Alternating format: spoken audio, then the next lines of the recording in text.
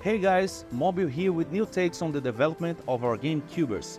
We've already shown here a little of the development of our main character, but we hadn't given due importance to the fact that it can be customized. Our characters will have a complete customization, with clothes, hairs, eyes, accessories, and colors, all of which can be interchanged in more than one type of body. When it comes to living the adventures in the world of Kubberz, we want our players to be satisfied with how they appear to be themselves and to the other players. I will take the opportunity to ask, what shouldn't be missing in a character customization?